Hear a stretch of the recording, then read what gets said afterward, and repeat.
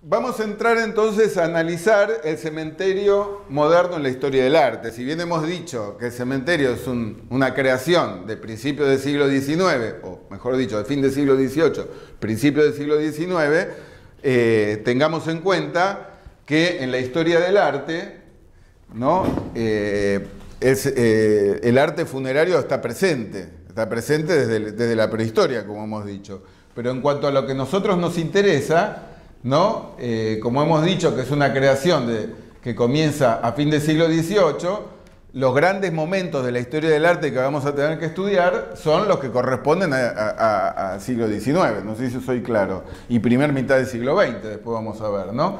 Entonces, las tendencias preponderantes que hay en un cementerio moderno, que a lo mejor el público en general, que es más ingenuo, se fascina entendiendo que el cementerio es una cuestión muy antigua, ¿no es cierto?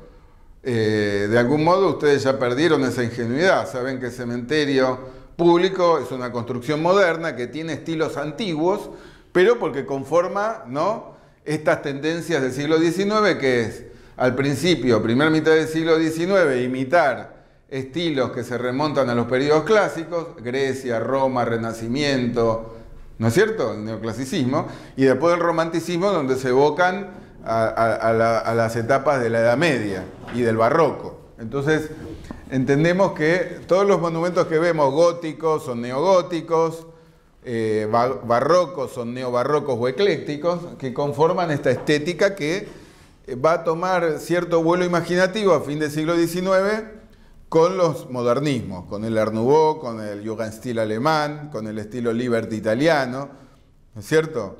Eh, pero tengan en cuenta que este es el péndulo en donde oscilan los estilos de un cementerio moderno.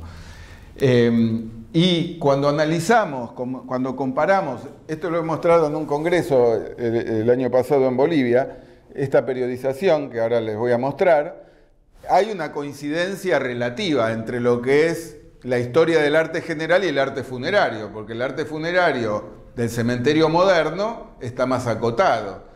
Estos periodos que tenemos en esta flecha amarilla tienen una correspondencia indirecta con los estilos de la historia del arte, pero es un terreno más acotado que en este cuadro, espero que se pueda entender, que presentamos en el 2017 en, Montevideo, este, proponemos esta periodización.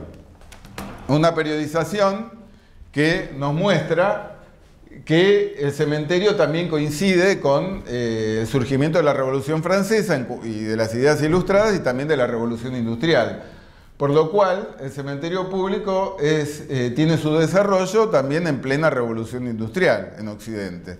Entonces, ¿qué va a surgir eh, en el cementerio público? Ya hemos dicho, los estilos propios del siglo XIX, ¿no?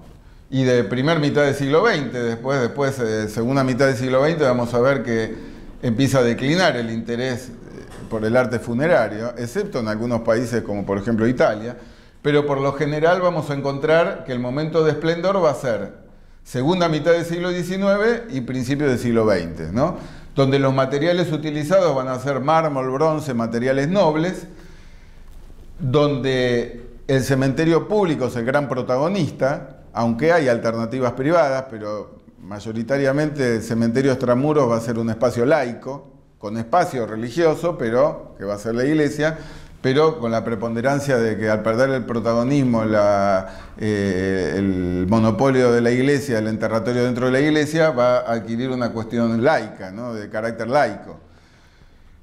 Eh, en donde vamos a ver que a medida que avanza el siglo XX, bueno, va a declinar eh, la inversión en el monumento funerario y también los materiales. ¿no? Entonces, este cuadrito, en, en nuestro país hay una primera etapa de influencia italiana en cuanto a artistas, escultores, diseñadores, luego una etapa de influencia francesa, como ha pasado también en la en la arquitectura civil monumental, ¿no? de la misma etapa, como ustedes saben, tuvimos influencia de arquitectos franceses, italianos primero, en la arquitectura en general, ¿no? ya lo hemos estudiado, ¿no? Tamburini, Casa Rosada, Palacio de Congreso, Meano, eh, eh, en el Palacio de Congreso, y luego la influencia de los franceses, de formación francesa, ¿no? Eh, en el cementerio sucede lo mismo en nuestro país. Entonces vamos a ver estas influencias.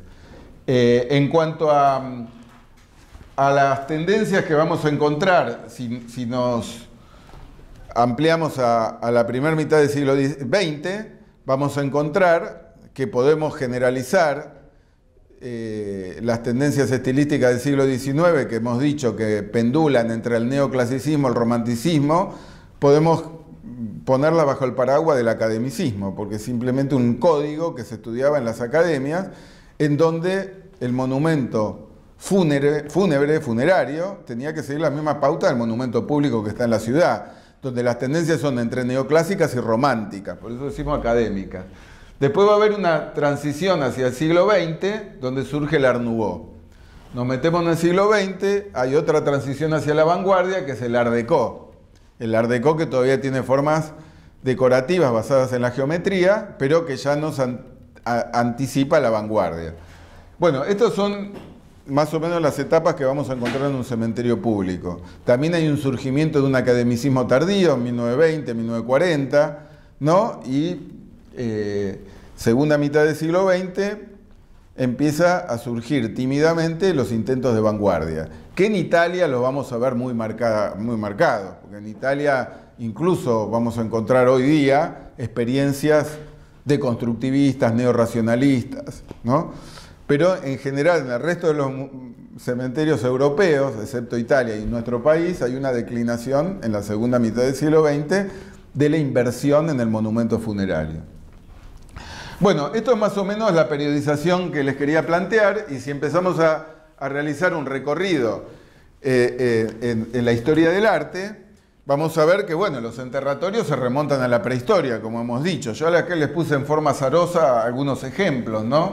el hecho de, enterrar a nuestros muertos, porque hay cuestiones que la ciencia de hoy, ni siquiera Internet, ni siquiera lo podemos googlear, qué es lo que pasa después de la muerte. Por más que lo googleen no van a encontrar nada, ¿no? ninguna respuesta fehaciente, irresponsable y científica. Van a encontrar muchas respuestas como aparece todo lo que surge en Internet, pero todavía no hemos logrado saber con certeza qué pasa después de la muerte. Entonces ese misterio eh, implica que el hombre desde la prehistoria le dedique un monumento a lo funerario para, por distintas razones, ¿no? Para, eh, por razones religiosas, para poder eh, tener una, vida de ultratumba este, favorable, ¿no? Distintas razones que eso estudia más la historia de las religiones, la arqueología, pero queremos decir que ya desde la prehistoria está esta costumbre de enterrar de enterrar. Debajo tierra, colocar un monumento encima. Por lo general el enterramiento, el sepulcro siempre está bajo tierra y arriba hay un monumento, tal como lo vemos en los cementerios modernos. Pero esta costumbre ya viene desde la prehistoria.